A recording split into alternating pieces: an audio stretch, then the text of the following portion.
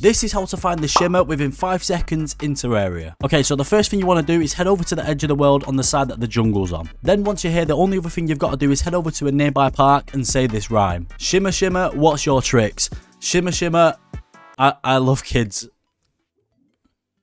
Once you come back, you can see that you'll be teleported straight to the Shimmer biome, so um, yeah, go try that.